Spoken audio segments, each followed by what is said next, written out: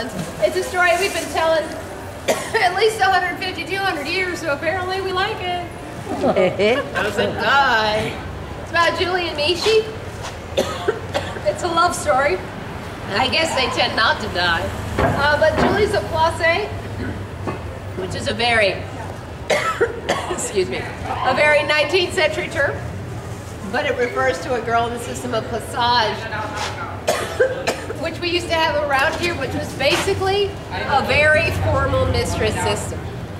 Over at the Orleans Ballroom, which is basically behind this building, they used to have the famous quadroon balls during the 19th century, where only mulatto, quadroon, and octoroon girls were invited, being half black, quarter black, eighth black, anything less, they were considered placebo, passing for white.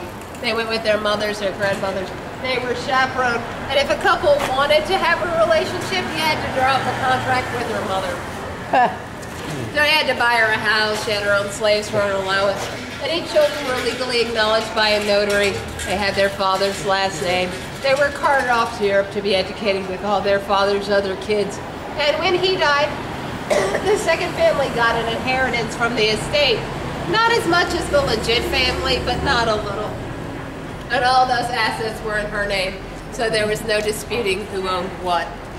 So Julie was a part of that population. Julie's the heroine in this story. And Mishi, well, he's her lover, sponsor, sugar daddy. There's no title for that guy. He's just the guy. But as the story goes, and like I said, it's a famous story in New Orleans. As it goes, he put her up in this house. And this is your classic Creole townhouse. You have your business on the ground floor and you live above it. And their relationship is bliss. Heaven. Perfect. Up until his first wife dies. But when his legitimate wife dies, the inevitable conflict comes up in that she doesn't want to be a mistress, she wants the ring. So she starts in on him begging, pleading, nagging, insisting that he marry her. Well, believe me, he's quite happy to do just about anything else. Give her anything else. There's a plus A, hey, that's a status symbol. More you can give your mistress, the more of a man you are. Interracial marriage, not a status symbol. Not in these circles. So she begs, she pleads, she nags. Their relationship's gone downhill through the summer, through the fall, and she shuts up. Quits talking about it, and he thinks, thank God. Now we can get back to our fluffy little relationship, right? It's her respite. She's taking a breather. Because as soon as the holidays start, she's back in on him again, begging, pleading, nagging, insisting that he marry her until on the coldest night of the year she ultimatums him. She says, you marry me or get out I never want to see you again. And he says, sheesh, you want me to marry you? I give up. I'll marry you. Uh, on one condition. First, you gotta prove to me that you love me. I mean, really, truly love me. You go up on that roof, in that roof, on that rooftop, and not but what God gave you, and you, hey, if you're there in the morning, I'll believe you. I will.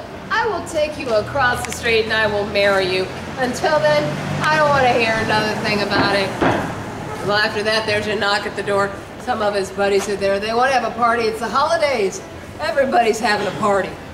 So he invites his friends in and he spends the rest of the night with them. Drinking, smoking, gambling, doing all those things Creole aristocrats do in the 19th century. He forgets about her. And before he knows it, the sun's rising. And this is bad, frankly. Because you're not supposed to keep your guest all night long. You keep your guest for a drink. Then you let them go to the neighbors and have a drink there and so on down the street, one drink a house. So he's been pretty rude. He's got to beg for their forgiveness, escorts them outside. Then he goes upstairs to fetch Julie, oh, only she's not there. There's no sign of her. He goes to the next room. No sign over there. He goes up to the third floor. Her bed's not been slept in.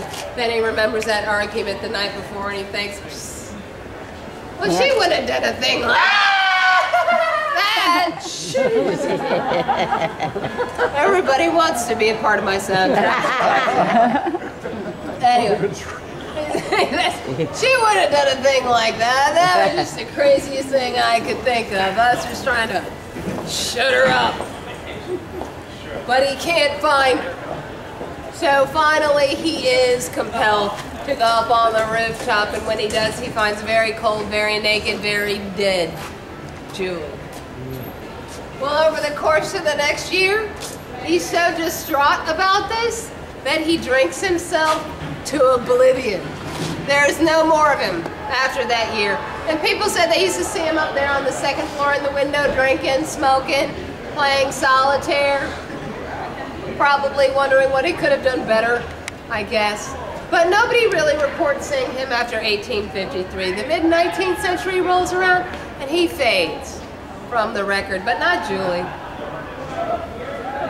Julie's actually one of the most active hauntings in New Orleans. The height of her activity is when they're making a TV documentary about her. Apparently, she likes the attention. Uh, this place used to be the bottom of the cup tea room. You go have your entire car straight